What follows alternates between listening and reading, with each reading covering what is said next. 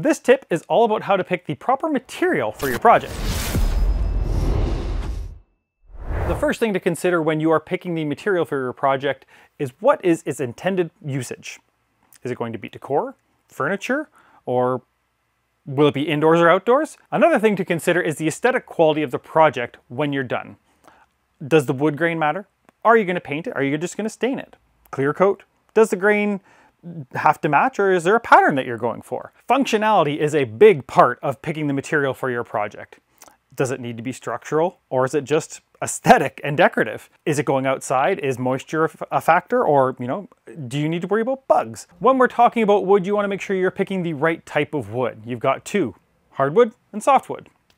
Hardwoods are typically more durable, they'll last longer, they are also typically more expensive. A few examples of common hardwoods are oak, maple, cherry, and walnut. When we're talking softwoods, they are typically easier to work with, easier on your tools, and easier on your wallet. Some examples of common softwoods are pine, fir, spruce, cedar, lots other examples as well. Everyone knows how I feel about these are plywood and MDF. I don't like these. However, they do have their place. Their stability, size, and availability make them great for all types of projects. Typically used when you don't need to see them, or when you need some structural components, plywoods and MDFs have a wonderful place within your project selection. Just consider their usage first. Foam isn't wood at all, however, it's cheap, it's light, it's easy to get a hold of, and it's great for prototyping. Check over the wood for knots and defects. If there's cracks, if there's warps, if there's cups, you want to eliminate those or at least address them before you start working with it. Another thing a lot of people don't realize is as big a factor as it is is the moisture content of the wood.